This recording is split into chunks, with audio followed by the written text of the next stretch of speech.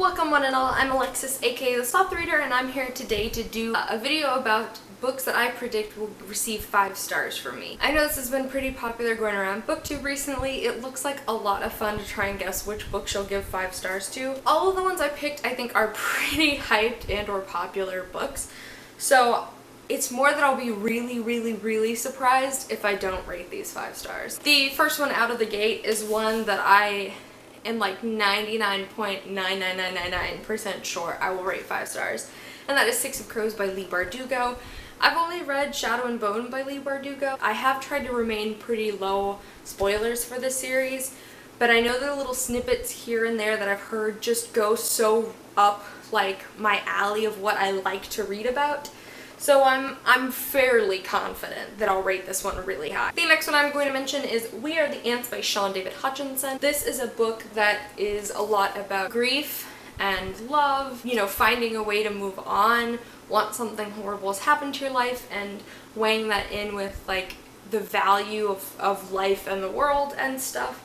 And uh, it just very much sounds like something I really will enjoy and especially because I've heard that like the main character in this book and like watching him go through the struggle of this book is just really endearing and I know people absolutely love this book and I'm hoping that I really will too. The next one I'm going to mention is actually a classic and that is Jane Eyre by Charlotte Bronte.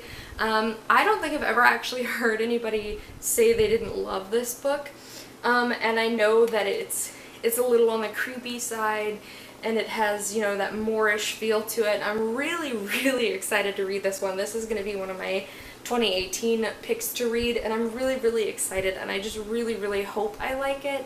Um, a lot of booktubers and bloggers that I really trust all of this book and I'm just hoping I will love it too. The next one I'm going to mention is Eliza and Her Monsters by Francesca Zappia. Again, this is a book that's gotten a lot of praise on booktube. Um, I think I'll really like this book for two reasons. The first is that I know that there's a little bit of a mixed media element in this book and I've kind of flipped through the first half of this book to look at it and I'm really intrigued by what I've seen and I also know that this book um, is cute, but it also deals a lot with like mental illness and like the struggle of being an artist and stuff and that all sounds really really interesting to me so yes I really have high hopes that I'll like this one and I really hope that I do. The next one I'm going to mention is Warcross by Marie Lu. This is the most recent release that I'm going to mention. Um, uh, this is twofold, the first being that I haven't disliked a single Marie Lu thing I've read yet um, and the second is that the setting in this book just sounds incredible. I'm very much here for a virtual reality, like, video game setting, and I've heard that the setting is one of the things people like the most about this book. So yes, I, I mean, I genuinely don't see myself rating this below a four stars, but I'm hoping it'll be a five for me. The next one I'm going to mention is Everything Leads to You by Nina LaCour. Um, this is another book that when I look at all of the things it has in it, it ticks like all of my boxes. Not only is there a female-female romance in this book that I have heard is cavity inducing, it's so cute. Um, but I know that the main character, Emi, has a lot to do with film, and she wants to be, I think, like a set designer. And you guys know I love it when books include a film element to it, or characters who are very much into film. You guys know I love that stuff. And so like I just hope that when I finally get around to reading this book, I will absolutely fall in love with both the characters and the romance and all of the little nerdy film knowledge that I hope it will bring. The next one I'm going to mention is A Little Life by Hanya Yanagihara.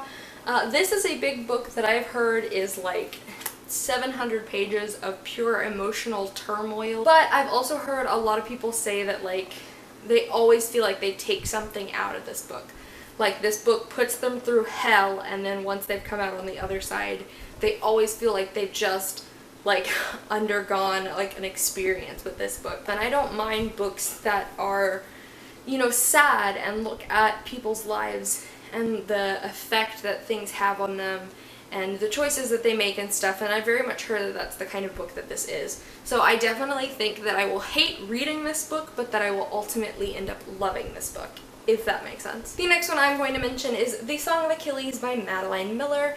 Uh, I pretty much have a bunch of reasons why I think I'll rate this one very highly. The first being that it is obviously about the Trojan War, which is something that I find fascinating to begin with. But I've also heard that the writing in this book is just really beautiful and this is another book that is ultimately very sad. But I also just have heard a bunch of my Goodreads friends and stuff all just praise this book so much and so I'm really hoping this is another one that I'll end up really loving. Alrighty guys, so those are the eight books that I predict I will give five stars to. Um, I think all of these have really high ratings on Goodreads. Part of the reason I think I'll give them really high ratings is because I know a lot of other people have given them high ratings, people whose opinions I really trust.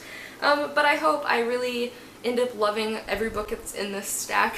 I hope that they become new favorite books of mine. If not, well then maybe I'll make another video a year from now talking about all of the books that have horribly disappointed me. You guys should let me know down below what's a book you think you'll be rating 5 stars, or if you want to tell me what you rated any of these books, I'd absolutely love to know. I upload videos on Monday, Wednesdays, and Fridays, and I'll see you guys soon with another one.